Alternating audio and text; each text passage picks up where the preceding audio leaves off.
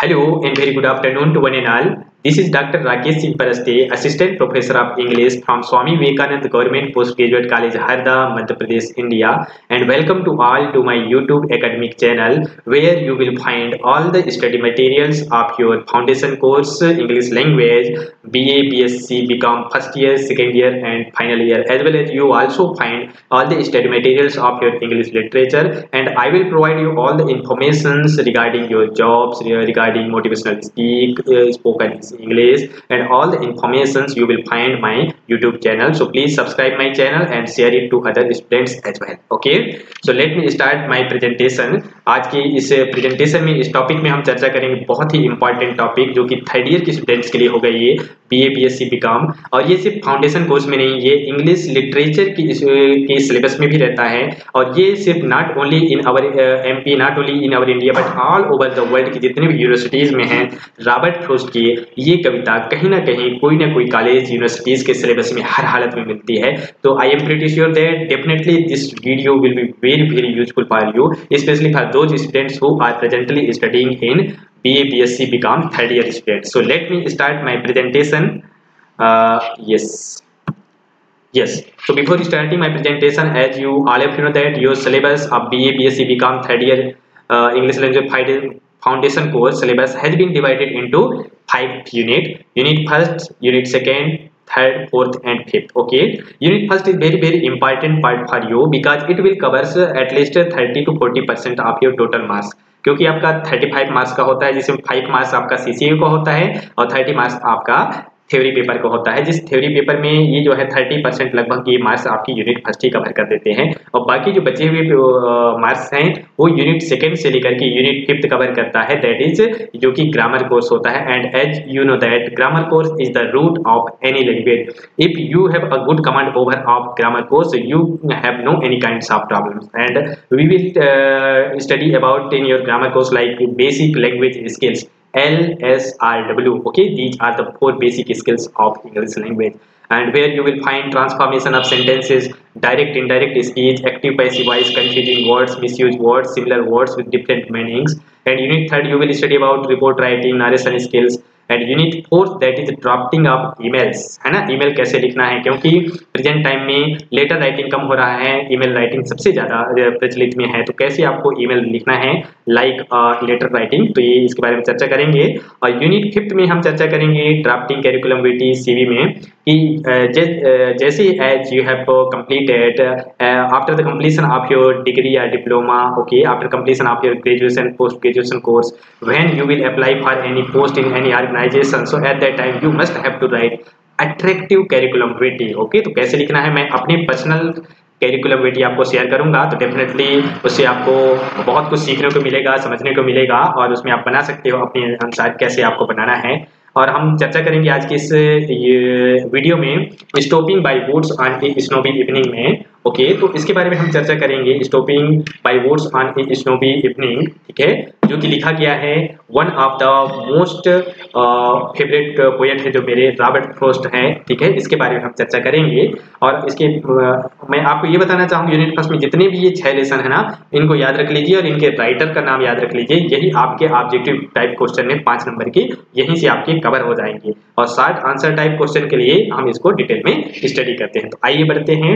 आज के इस पोयम के बारे में okay so before starting to this poem अच्छा मैं इस वीडियो में हिंदी और इंग्लिश दोनों मिक्स करूँगा ताकि सभी स्टूडेंट्स को कई जो हिंदी मीडियम वाले स्टूडेंट होते हैं, जिनको टोटल इंग्लिश में समझने में प्रॉब्लम होती है इसी को ध्यान में रखते हुए मैंने मिक्स लैंग्वेज के यूज़ करूँगा इसमें। तो सबसे पहले इस वीडियो को शुरुआत करने से पहले हम रॉबर्ट फ़र्स्ट के बारे में जानना चाहेंगे। His full name was Robert Lee Frost okay and he was born in eighteen and he died on nineteen was an American poet and one of my favourite poet as I have already talked about it and he was born in San Francisco, California, America and his work was initially published in England. Actually, he was uh, from America, but uh, his initially all his work initially was published in England before it was published in the United States. Okay, known for his realistic depiction क्योंकि all of his works is based on his rural life, on his personal life experience. तो उसके जितने भी works हैं उसमें आप इसके rural life personal experience natural life के बारे में आपको पढ़ने को मिलेंगे। और सभी जितने भी इनके पोएम्स हैं, बहुत ही इंपॉर्टेंट हैं। ये ज़्यादा इतने इंपॉर्टेंट नहीं है। आगे देखते हैं, क्योंकि ये क्यों मेरे लिए ये बहुत ही फेवरेट है, ये आप जान जान सकते हैं कि Robert Frost was awarded four time Pulitzer prize कितने बार पुलित्जर प्राइज इसको मिला? चार बार इसको पुलित्जर प्राइज से सम्मानित किया गया। And he became one of the America's rare public literary figures Almost an artistic institution He was awarded the Congressional Gold Medal in 1960 for his poetic works and on July 22, 1961, Frost was named Poet Laureate of Vermont and he was invited to recite his poem. देखो ये सबसे बड़ी उनके लिए एक पल था समय था जब वहाँ के जो राष्ट्रपति जॉन एफ़ कैनेडी का इनोग्रेशन सेशन चल रहा था इनोग्रेशन सेरेमनी चल रहा था जनवरी 1961 में तो वहाँ इनको ससम्मान मतलब इनको, उनके पोएम को पढ़ने के लिए बुलाया गया था। इनके पोएम जो द गिफ्ट आउटराइट है, तब से ये पोएम बहुत ही फ़ेमस हो चुका है। Okay? And first diet in between two years after उन्नीस के बाद, दो साल बाद उन्नीस में इनकी डेथ हो जाती है। अब he may be regarded as one of the greatest poets of his generation and in America and not only in America but all over the world you can say he was the greatest poets and one of the most popular and honored poet of America. तो ये Robert frost के बारे में था और इनकी poem आठ दस लाइन की है, लेकिन बहुत ही इंपॉर्टेंट है। आप अंदाज़ा लगा सकते हैं कि इनकी जो ये अंतिम की जो चार लाइन है, ये वाली चार लाइन स्टेंजा ये हमेशा पंडित जवाहरलाल नेहरू के टेबल में रखे हुए रहते हैं। और कई घर में आप देखने को मिलेंगे, और कई लोग हमेशा इसको बोलते रहते हैं, जिनका टारगेट फिक्स होता है, ठीक है, जो कुछ लाइफ में करना चाहते हैं। क्योंकि आप लोगों से मैं यही रिक्वेस्ट करूँगा, आप भी अपने लाइफ में कम से कम तीन टारगेट फिक्स करके रखिए। यदि पहला टारगेट ना हो तो आप दूसरा रखिए, दूसरा ना मिले तो तीसरा तो मिलेगा ही मिलेगा। ऐसे जब तक वो टारगेट आपको प्राप्त ना हो जाए, है ना? You should work hard not only work hard but smart work also okay so let start present presentation let let me start my presentation तो stopping by woods on a snowy evening which was publish in 1923 1923 में publish हुआ। Stopping by woods woods मतलब यहाँ लकड़ी नहीं कह सकते, एक छोटा सा जंगल को लेते हैं हम कवि के अनुसार। जैसे आप इमेजिन करो कि कोई एक फॉरेस्ट ले लो इमेजिन करो मन में, एक छोटा सा जैसे जंगल है ऑन ए स्नोवी इवनिंग वो बर्फ़ वाले जब समय होता है, ठंड का समय होता है, जब बर्फ़ जमी रहती है जंगल में तो उसका आप इमेजिन कर सकते हो, ठीक है? तो एक इवनिंग होती है जिसमें रॉबर्ट फ्रोस्ट जो है रियल स्टोरी है। रॉबर्ट फ्रोस्ट जब एक जंगल से गुजर रहे थे तो सामने एक पहाड़ी, एक जंगल पर कुछ पेड़ पौधे वहाँ मिले, जो कि बर्फ़ वाली वो ऐसी जगह थी। तो बर्फ़ की जो सुंदरता, उस नेचुरल प्लेस की जो सुंदरता है, उसको इन्होंने वर्णन किया इस कविता के माध्यम से। आइए पढ़ते हैं। Whose woods these are, I think I know. Okay? The poet says that in the very first line, whose woods ये किन पेड़ हैं? किन ये जो हट्स बना हुआ है, झोपड़ी टाइप का? क्योंकि उस जंगल में एक कॉटेज टाइप के एक झोपड़ी बना हुआ था। तो कवि कहता है कि whose woods किसका ये woods है? यानी ये जो बना हुआ कैटेज है, इस जंगल में बना हुआ एक जो एक झोपड़ी टाइप का बना हुआ है। These are I think I know I know मैं उसको जानता हूँ, उस पर्सन को जानता हूँ जिसने इस कैटेज को बनाया, इस वुड्स को यहाँ इस जंगल में बना के रखा है। शायद मैं उसे जानता हूँ। His house is in the village though and he says that कि वो यहाँ मतलब एक झोपड़ी टाइप का बना दिया है, लेकिन उसका जो रियल घर है रियल होम है, वो नज़दीक के गाँव में बसा हुआ है। पहले मैं हिंदी में बताऊँगा, फिर आपको इंग्लिश में समझा दूँगा okay he will not see me stopping here but at this present time क्योंकि वो तो घर में होगा, गाँव में, गाँव के घर में होगा, लेकिन इस कैटेज में अभी मैं खड़ा हूँ तो वो अपने घर से मुझे देख नहीं रहा होगा। लेकिन मुझे पता है कि मैं उसकी इस झोपड़ी के सामने भी खड़ा हूँ, जो कि चारों तरफ़ बहुत ही what a beautiful scene it is what a natural scene it is जो कि चारों तरफ़ बर्फ़ से ढकी हुई बहुत ही सुंदर सा यह दृश्य है। To watch his woods full of with snow and he said that कि इसका जो कैटेज है कॉटेज है, इसका जो ये वुड्स है है ना? ये जो प्लेस है uh, place and it uh, it is covered with snow uh, snow falls okay? इनसे मतलब ढका हुआ है। And my little horse must think it queer और अपने घोड़े के बारे में भी चर्चा करते क्योंकि रॉबर्ट फ्रोस्ट किसमें जा रहा था? अपने घोड़े पे बैठ के जा रहा था।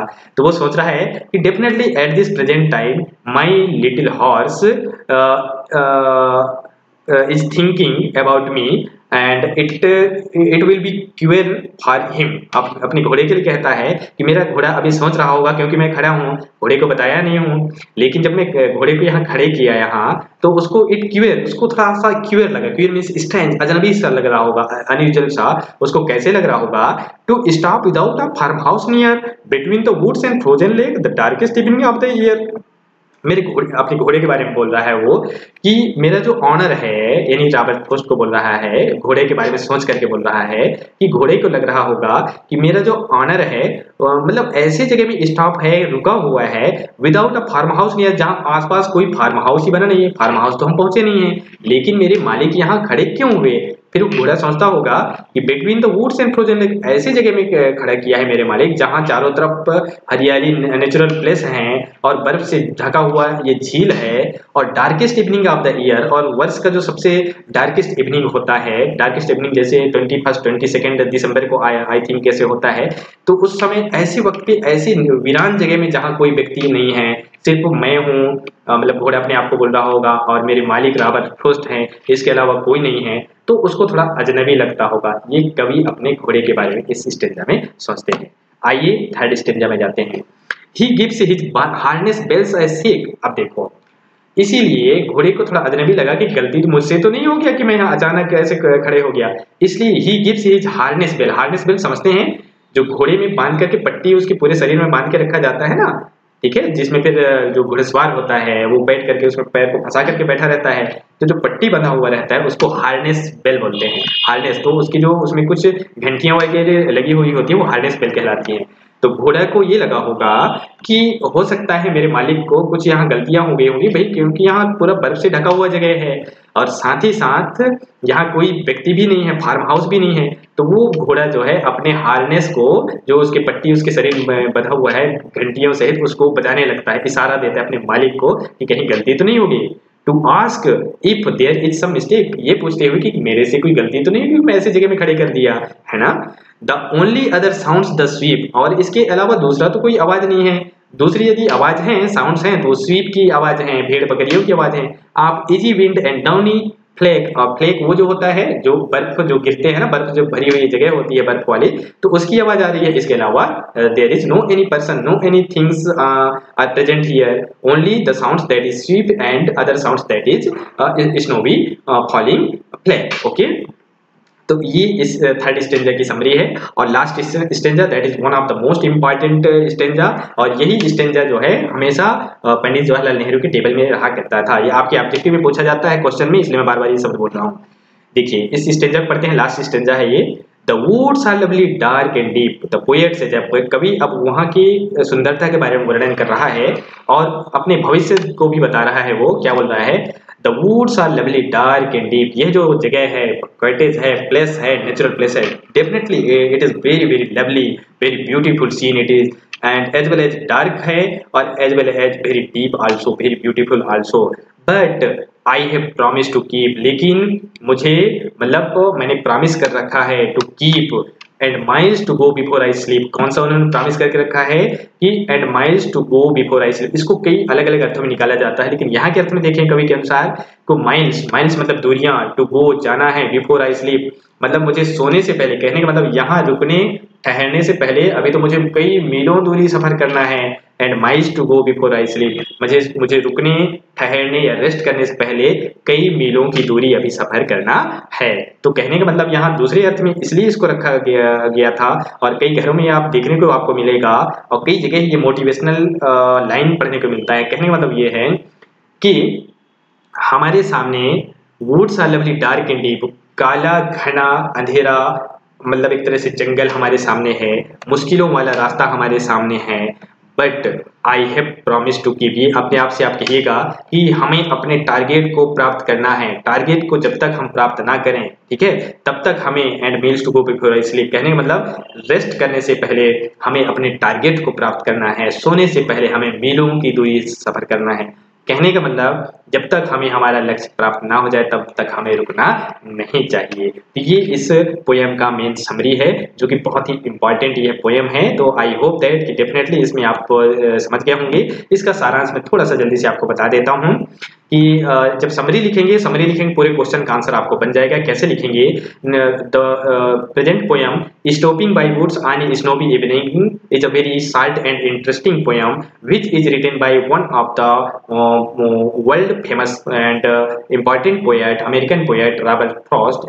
Okay uh, in 1922 and the poem was published in 1923 and in this poem मैं आपको यहाँ से बता रहा हूँ okay तो आपको आसानी समझ में आएगा हिंदी में बता इंग्लिश में बता रहा हूँ the poet says that in the very first stanza he says that these woods these cottage place of a natural cottage place are very beautiful and i know very well that who is the owner who who built this house who built this cottage i know very well that uh, and uh, his house uh, the person who built this woods his house is situated in near village okay but at this present time he will not see me while I am stopping here कभी कहता है कि ये घर ये जो woods है जिस पर्सन ने बनाया, अभी वो अपने गाँव के घर में है, लेकिन वो अभी मुझे नहीं जानता होगा कि मैं उसके इस कॉटेज को देख रहा हूँ। यही कह रहा है he will not see me during this present time because he at this present time he he is in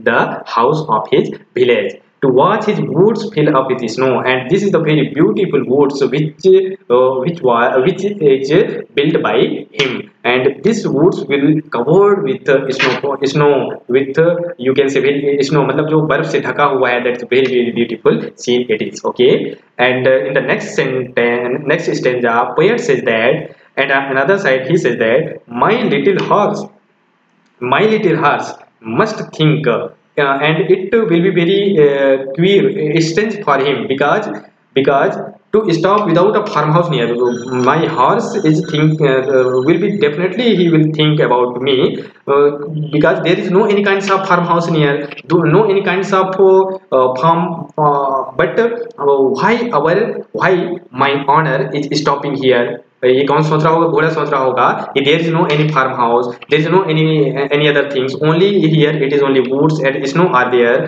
okay but why my honour is stopping here that is the question for for horse and definitely it will be very queer very strange for him उसके लिए मतलब बड़ा अजनबी type का लग रहा होगा अजीब टाइप का लग रहा होगा।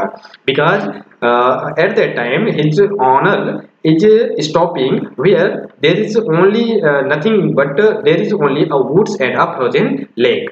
And uh, also horse is also thinking that it is the year when the darkest evening of the year. It means that 21st and 22nd day of december that is called the darkest evening of the year okay?